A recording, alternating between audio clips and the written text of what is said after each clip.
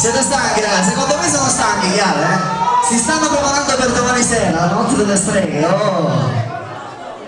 Cosa volete ragazzi? Siete da Chiara? Sì o no? Sì? La volete Chiara?